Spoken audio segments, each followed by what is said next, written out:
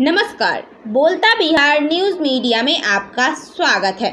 Financing company में कार्यरत रितेश को अपराधियों ने मारा गोली, इलाज के क्रम में हुई मौत। आक्रोशित ग्रामीणों ने एन एच अट्ठाईस को जाम किया।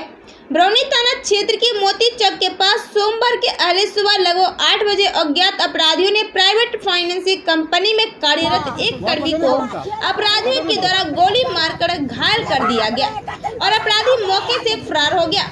स्थानीय लोगों ने घायल युवक को लोकल हॉस्पिटल ले जाया गया लेकिन वहाँ पहुँचते ही युवक को डॉक्टरों ने के द्वारा मृत घोषित कर दिया गया।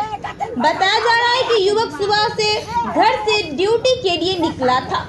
घायल युवक की पहचान तेगरा थाना क्षेत्र के रातगांव पंचायत के वार्ड नंबर छह निवासी अनिल सिंह का सत्ताईस वर्षीय पुत्र रितेश कुमार के रूप में हुई। मृत युवक को दो भाइयों में से सबसे बड़ा था और घर का कमाने वाला मात्र एक सदस्य था। पिता पेशे से किसान है, छोटा भाई जो शारीरिक अवस्था की वजह से घर पर ही रहता है। बताया जाता है कि सितेश की शादी तीन वर्ष पहले हुई थी। एक दो वर्षीय पुत्र भी है। अब परिवार पर दुखों का पहाड़ टूट पड़ा है।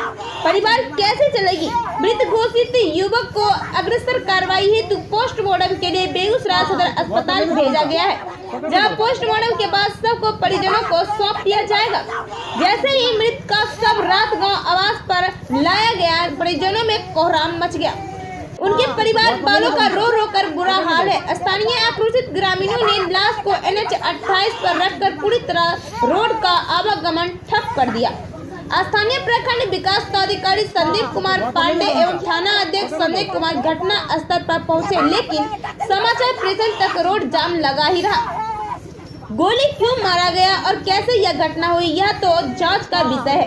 मृतक के पुत्र का आज ही जन्मदिन था। इस घटना को लेकर पूरे ग्रामीण क्षेत्र में शोक की लहर फैली हुई है। तेगरा से अशोक कुमार ठाकुर की रिपोर्ट।